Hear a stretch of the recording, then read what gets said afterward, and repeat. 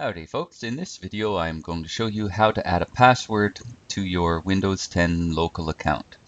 If you have a Microsoft account, you already have a password. Wouldn't apply, right? So here we go. We're going to click on the Start button and we're going to go to Settings.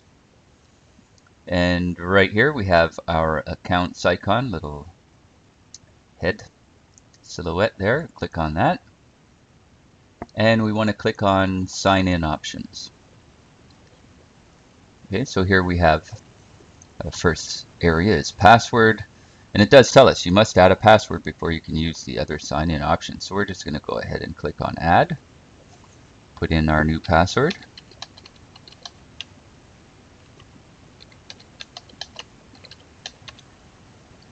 And of course you can type in a hint if you like and go ahead and click Next. Next time you sign in, you'll need to use your password. Go ahead and click on Finish.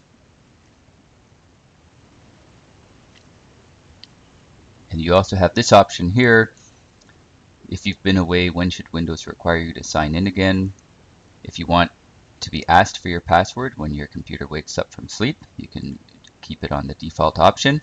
Or you can say never, which will mean only when you've fully turned off your computer and then have turned it back on will you be prompted for your password. You can also add a PIN, uh, like a like four-digit number, for example, uh, which you can use in addition to your password as a quick way to log in. You can go ahead and click on Add there. It asks you for your password first to verify that you are you.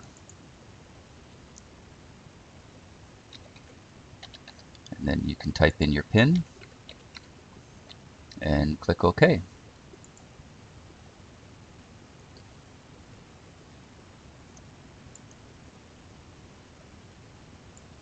There you go folks. Hopefully that has helped you add a password to your Windows 10 local account and to also add a PIN if that's something that you desire. Thanks for watching.